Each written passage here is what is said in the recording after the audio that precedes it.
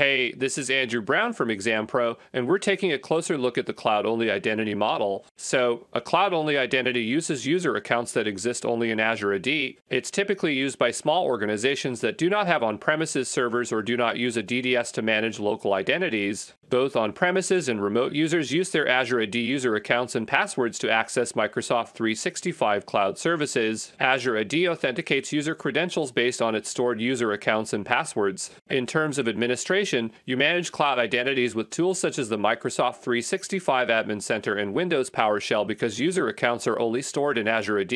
And so this is best for organizations that do not have or need an on premises AD DS. And their greatest benefit would be that it's simple to use and it requires no extra directory tools or servers. So looking at the visual here within your organization, you have your on-premises users and your remote users, and both of them can access Microsoft 365 with Azure AD using their user accounts all on the cloud. So that's the cloud-only identity model.